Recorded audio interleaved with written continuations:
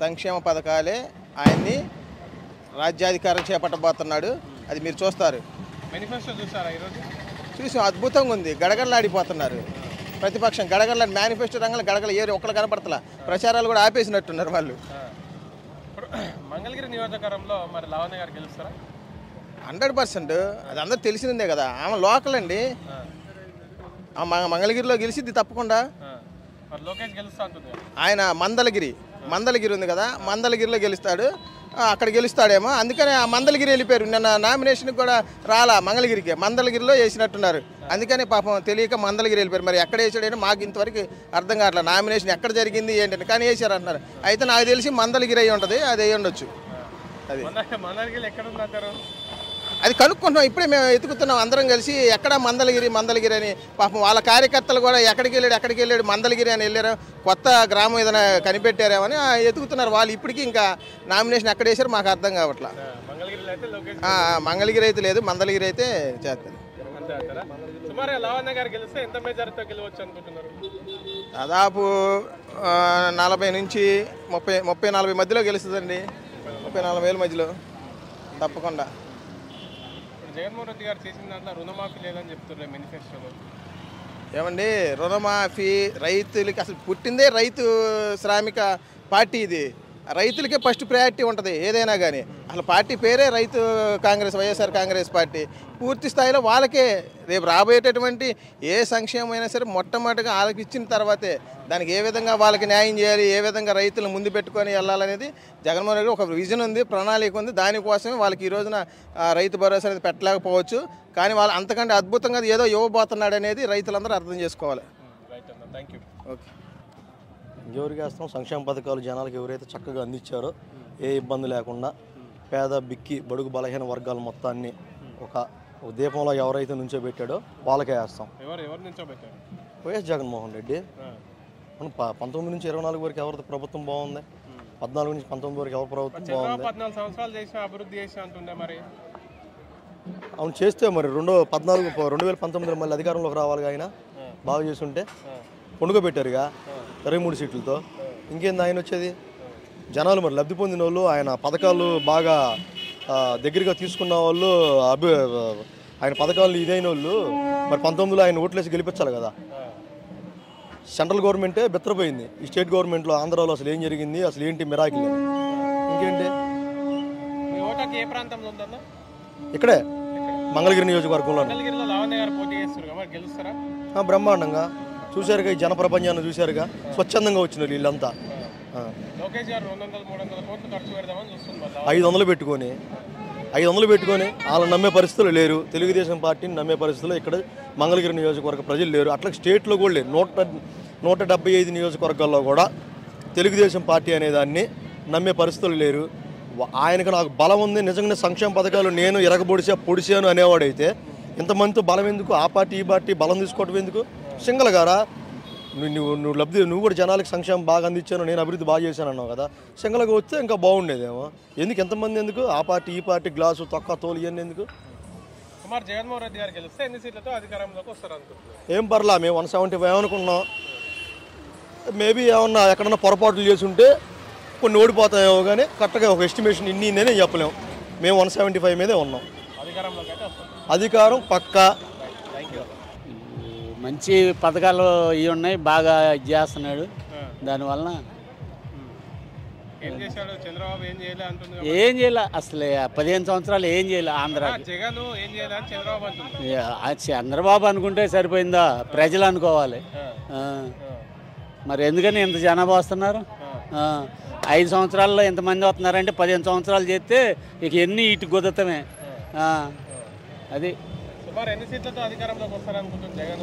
నూట అరవై. వాళ్ళు ఒక పదిహేను గెలుస్తారు అంటాం. పదిహేను పదమూడు అంతకన్నా రావు. పోయినసారి ఇరవై మూడు తగ్గినాయి కదా ఇప్పుడు పదమూడు అవుతాయి. చంద్రబాబు గెలుస్తాడా? చంద్రబాబు నమ్మకం లేదు. చంద్రబాబు లేదు పిట్టాపురంలో పవన్ కళ్యాణ్. లేదు. మంగళగిరిలో లోకేష్. ఏం లేదు. పై డాబు సరే అలా అనాలి అంతే. ఇస్తారు డబ్బు ఉంది బాగా. ఇప్పుడు మూడు వందల డెబ్బై కోట్లు ఉన్నాయి కదా అవి ఏం చేయాలి? తీస్తున్నారు ఒక్కొక్కటి వామిలోంచి తీసి ఒకళ్ళకి పంచుతారు ఇక. పంచిన వేయరు. తీసుకుంటారు వేసేస్తారు వేసే వాళ్ళకి అంతే. పబ్లిక్ అట్లా అనుకున్నారు. అట్లా. చేయాలని అనుకున్నారు. వైసీపీ నుంచి లావణ్య గారు అని పోటీ చేస్తున్నారు తెలుసా ఆమె?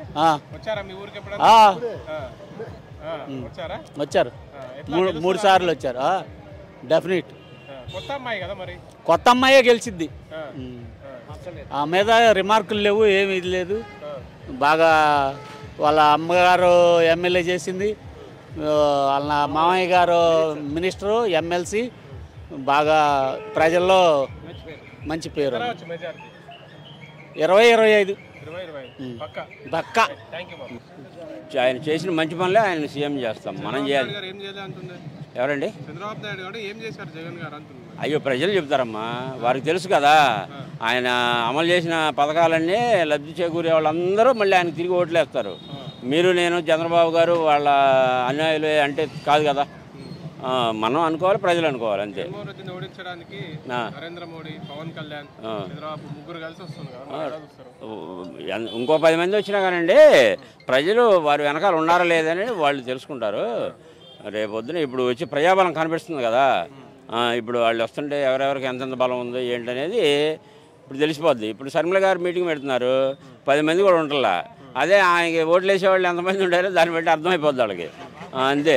అదే శర్మిల గారు నిన్నదా పోయారు. ఇవాళేమో కాదంటున్నారు. ఎవరు నమ్ముతారు మాటలు? అది విషయం. ఇప్పుడు ఈరోజు మేనిఫెస్టో రిలీజ్ చేశారు జగన్మోహన్ ఓకే. ఎలా ఉంది? చూసారా బాగానే ఉంది. ఆ మేనిఫెస్టో పాత మేనిఫెస్టోని అలాగే ఉంచి కొన్ని కొన్ని ఆయన చేయగలిగినటువంటి కొన్ని కొన్ని పథకాలని పెంచారు మళ్ళీ. ఆ చేయూత కానీ ఆసరా కానీ రైతు భరోసా కానీ ఇవి అమ్మఒడి కానీ ఇవన్నీ మళ్ళీ పెంచారు కదా.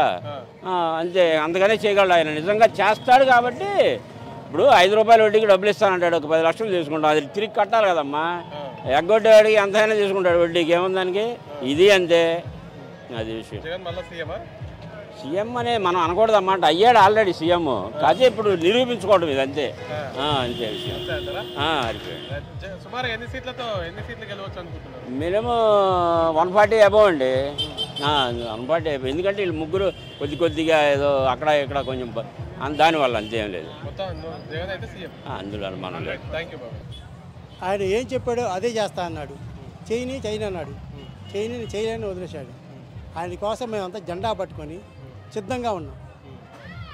సిద్ధం అంటే గుద్దడానికి మేము గుద్దడానికి కాదు మేము ఓటు వేయడానికి సిద్ధంగా ఉన్నాం. ఆ, మా ప్రజలంతా ఓటు వేయడానికి సిద్ధంగా ఉన్నాం. ఆయన గెలిపించడానికి సిద్ధంగా ఉన్నాం. ఎన్ని సీట్లతో అధికారంలోకి వస్తారనుకుంటున్నారు జగన్? నూట డెబ్బై ఐదు నూట డెబ్బై ఐదు. ఇరవై ఐదు ఇరవై ఐదు. మొత్తం రెండు వందలు. ప్రపంచం చూసావు కదా జనం ప్రపంచం చూశారు కదా. అదే ఆయన ఏం చేయగలడు అదే చేస్తా అన్నాడు. మాది మంగళగిరి నియోజకవర్గం. లోకేష్ మీద మరి లావణ్య గెలుస్తుంది అంటారా? గెలిచిద్ది. గెలిచిద్ది ఆయన చేసి సంక్షేమ పథకాలే. అంతర్జాతీయ లోకల్ ఆమె లోకల్ నాయకులు. ఈయన లోకల్గా నాన్ లోకల్. ఈయన ఓడిపోతే మళ్ళీ హైదరాబాద్లో ఉంటాడు. ఓటుకు పదివేలు ఇస్తా అంటుంది మరి లోకేష్. ఎన్ని వేలు ఇచ్చినా కానీ తీసుకోవడం కానీ ఎవరు ఓటు అయితే పోయినసారి కూడా మరి చంద్రబాబు నాయుడు పదివేలు లాస్ట్లో వేశాడు పసుపు ఆ, ఎవరు వేశారు? ఎవరు వేయలేదు. మళ్ళీ జగన్ సీఎం. నో డౌటా? నూట డెబ్బై నూట డెబ్బై గెలుతాడు బాబాయ్? సంక్షేమ పథకాలే. చంద్రబాబు ఆయన ఆయన చేశాడు ఏం చేశాడు? ఏం చేయలేదు. ప్రజలకు ఏం చేయలేదు. జగన్. ఓడిమని చూద్దాం. చూద్దాం ముందు ఆయన ఓడిపోతే కుప్పంలో చూసుకోమని ముందు. ఆ, నిన్న ఏదో అందంటాను భువనేశ్వరి గారు అది ముందు అది అది సరి చేసుకోమని ఆ. ఆమె ఏదో అందా మరి మేము అనకూడదు కానీ ఆయన ముందు అది సరి చేసుకోమని. నిన్న మాజీ సీఎం చంద్రబాబు నాయుడు గారి భార్య సతీమణి అయినటువంటి భువనేశ్వర్ నిన్న అది విన్నాలి మనం చెప్పకూడదు అది. ఆమె అందాన్ని మనం కూడా అది అంటే ఆమెకే మనకి తేడా జనం చూస్తారు కదా జనం చూస్తున్నారు అందరూ చూస్తున్నారు. ఆమె ఎలాంటిదని ఇప్పుడు చూస్తున్నారు. మేమేం సమాధానం ఆమె కామెంట్ చేయకూడదు అంతటి వాళ్ళం కాదు మేము. ఆమె కామెంట్ చేసే అంతటి వాళ్ళు కాదు. ప్రజలే కామెంట్ చేస్తారు ఓటు ద్వారా కామెంట్ చేస్తారు. జగన్ అయితే గెలుస్తాడు ప్రజలు ఓటు ద్వారా కామెంట్ చేస్తారు. మేము కూడా కామెంట్ చేయడం కుదరదు. ఓటు ద్వారా కామెంట్ చేస్తాం.